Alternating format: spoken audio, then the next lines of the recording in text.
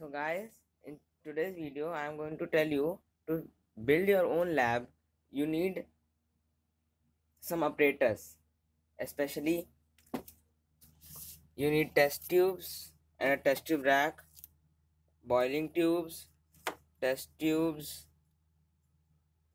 These are very essential to carry your experiments.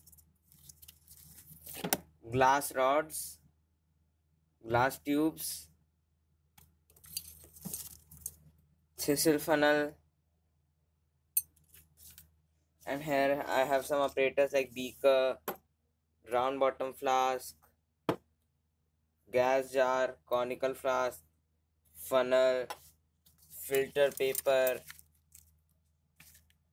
test tube holder, syringes, yeah this litmus paper you can buy it from any chemical store. Corks and tubes.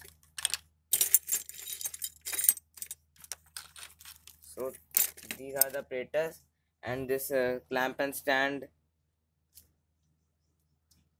These things you can buy from a chemical store. Spirit lamp. So to build your own lab you need at least these much apparatus. So you can buy this from a chemical store and in next video i will tell you where to get chemicals easily. So please subscribe and like